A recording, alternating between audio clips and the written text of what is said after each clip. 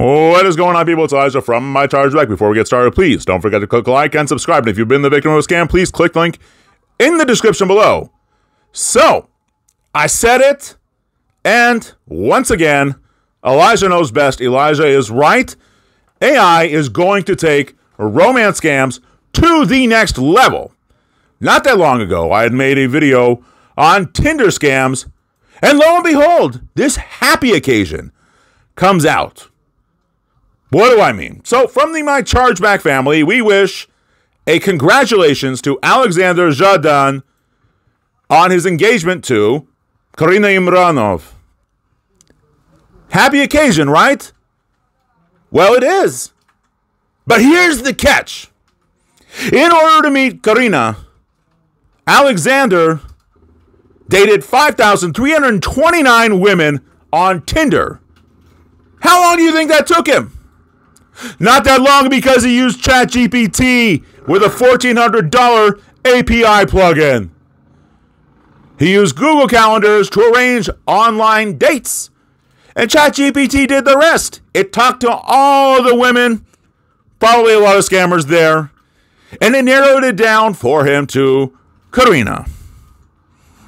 Now, if I'm a scammer, this is huge. I am going to jump on this. You see, scammers invest in their operations. They will pay thousands of dollars for fake platforms, for real platforms that they're going to put in demo mode, for apps, for offices, for HR people.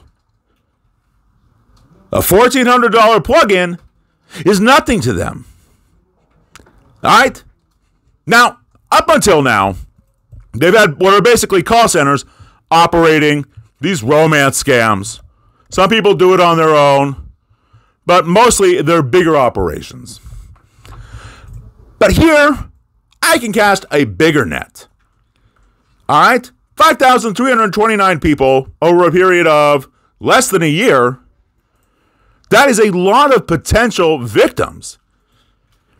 I can create the entire relationship with them without having to have a whole staff to sit there and pretend to play lovey dovey.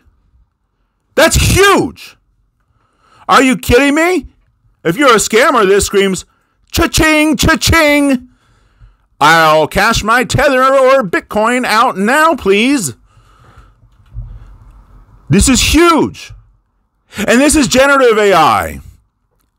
That would make one who is online dating say, oh, maybe I should go to an actual singles event. Because there is a decent chance at this point that not only if you're dating online, not only could it be a scammer, but it might not even be a real person. It might not even be a guy sitting in Lagos or in, uh, I don't know, uh, somewhere around the borders of China or New York or Dallas, New Jersey, bunch of places where a couple of Nigerian rings got busted. No. It's ChatGPT. You are falling in love with ChatGPT. You're falling in love with AI. It's a frightening and scary place. So, if you suspect that you are talking to one of these romance scammers and perhaps maybe it's not even a person, sheesh, talk about inconsiderate. Click the link below to speak to us. If you've been the victim of any kind of scam, hack, click the link below and talk to us, and we'll see what we can do for you. I'm going to leave it there for today. I've been Elijah. We'll see you next time.